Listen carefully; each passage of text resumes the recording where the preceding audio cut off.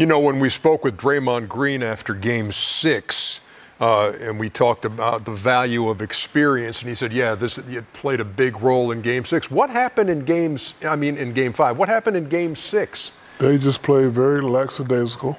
They played like they had already won the series. They played like the young guys were going to back down. And the Sacramento team has impressed me a lot, a whole lot. They, they, they don't play like a young team. You know, we always talk about experience.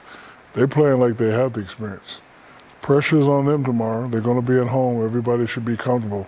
They just have to, because when you get in these games, Kenny and Chuck, you just be so hype, right? But if you're hype and it don't go your way, don't turn that into panic.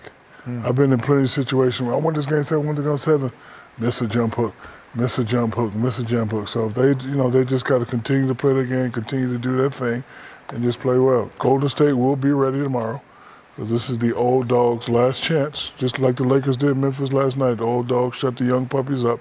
It's their last chance to, okay, Sacramento, we know you're pretty good, but let's just go and send you home. So hmm. it's not really as much pressure on them.